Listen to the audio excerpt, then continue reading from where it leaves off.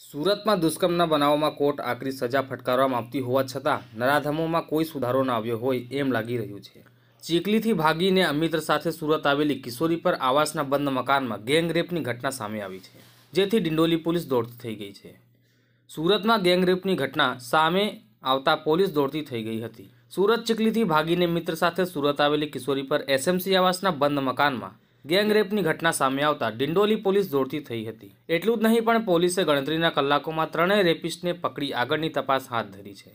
Dindoli PSI એકેબી દેસાઈએ જણાવ્યું હતું કે દોઢ વર્ષ પહેલાં, એટલે કે પંદર વર્ષની ઉંમરે, કિશોરીના લગ્ને લઈ માતા અને માસા માસીએ દબાણ કરતા કિશોરી ઘર છોડી ભાગી ગઈ હતી. આ કિશોરી સુરતસિંહ નામના યુવાન સાથે સુરત ભાગી આવી હતી. ત્યારબાદ બંને અલગ અલગ જગ્યાએ પર રહેતા હતા. જો કે દાનત બગાડતા સુરતસિંહે કિશોરી પર બળજબરી કરી શારીરિક સંબંધ બાંધ્યા હતા. પછી આવનવાર કિશોરીને પોતાની વાસનાનો ભોગ બનાવ્યો હતો વધુમાં જણાવ્યું હતું કે રૂમ બદલતા સુરતસિંહનો સંપર્ક બીજા બે જણ સાથે થયો હતો ઘરે અવરજવર રહેતા બંને મિત્રોની નજર કિશોરીએ જોઈને બગડી હતી જેને લઈ સુરતસિંહના બંને મિત્રો થોડા સમય પહેલા સોળ વર્ષે કિશોરીને એસએમસી આવાસના એક બંધ મકાનમાં લઈ ગયા હતા બાદ જબરજસ્તીથી શારીરિક સંબંધ બાંધ્યા હતા જેનો વિરોધ કરતા સૂરજે કિશોરીને સાથે મારઝૂડ કરતા કિશોરી ઘર છોડી ચાલી ગઈ હતી આ કિશોરી રખડતી હાલતમાં જોઈને એક ફર્નિચરની દુકાન ધરાવતા સંજયભાઈને મળી આવી હતી તેમણે કિશોરીને સહારા આપી પોતાની દુકાનમાં કામ પર રાખી લીધી હતી જોકે આ બાબતની જાણ સુરતસિંહને થઈ જતા સંજયભાઈના ઘરે કિશોરીને મળવા આવતા તમામ હકીકત બહાર આવી હતી જેને લઈ સંજયભાઈની મદદથી કિશોરીએ ન્યાય માટે પોલીસના દ્વાર ખખડાવતા પોલીસે ત્રણ નરાધામ વિરુદ્ધ ગુનો નોંધ્યો હતો bureau report TV nine India क्या घटी है आपके साथ? क्या घटना गंदी? मेरे साथ में तीन लोग रेप किए हैं। उसका नाम है सूरज राजपूत विमलेश पाठक चंदन। मेरे साथ में वो लोग बहुत गलत काम किए हैं। और उन लोग को छोड़ना नहीं चाहिए उन लोग को फांसी की सजा देनी चाहिए। पंद्रह साल की उम्र है मेरे साथ में वो लोग बहुत गलत काम किए हैं।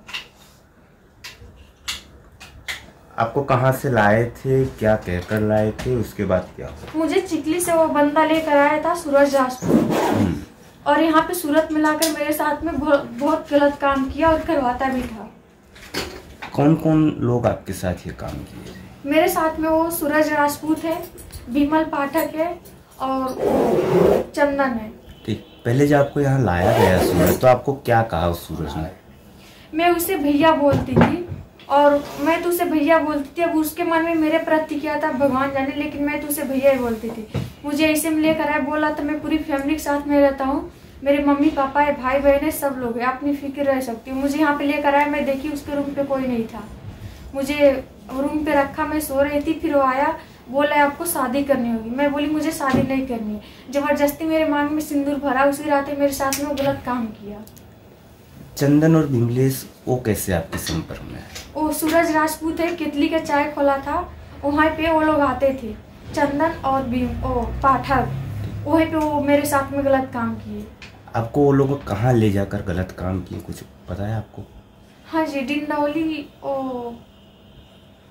डिंडौली में किए थे वो लोग। वो जो आवास वाला रोड है वहीं पे वो बिल्डिंग है ना पुरानी बिल्डिंग उसी में किए थे वो लोग मुझे ले जाकर। क्या चाहते हो आप क्या न्याय चाहते हो मैं यही चाहती हूँ सर कि उन लोग से कड़ी से कड़ी सजा दी जाए क्योंकि मेरे साथ में वो लोग बहुत अत्याचार किए बहुत गलत काम किए એ સાહેબ કે ડિંડોલી વિસ્તારમાં ગેંગરેપનો બનાવ બન્યો છે શું છે હકીકત માં ભોગ બનનાર છે એ સત્તર વર્ષની સગીરા છે આજથી દોઢેક વર્ષ પહેલાં એના માતા પિતા એના અ, લગ્ન કરવા માટે છોકરો શોધતા હોય અને આ સગીરાને લગ્ન ના કરવાના હોય એટલે એ પોતાના ઘરેથી ભાગી ગયેલી અને એક એના પરિચિત એવા જે અત્યારે આરોપી છે મેઇન મુખ્ય આરોપી સુરતસિંહ રાજપૂત.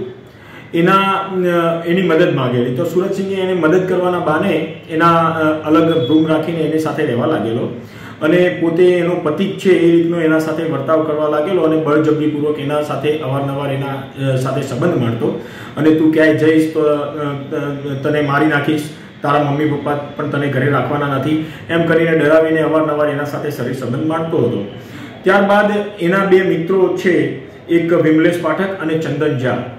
એમની સાથે પણ આને શારીરિક સંબંધ માનવા માટે આ ભોગ બનનારને મજબૂર કરેલી. અને અવારનવાર વિમલેશ પાઠક અને ચંદન ઝાએ પણ આ સગીરા સાથે શારીરિક સંબંધો માંડેલા.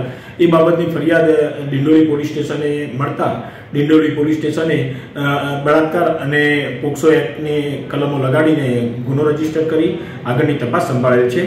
અને તપાસ દરમિયાન આ ત્રણેય આરોપીઓને અટકાયતમાં લઈને આગળની કાર્યવાહી હાથ ધરેલ છે.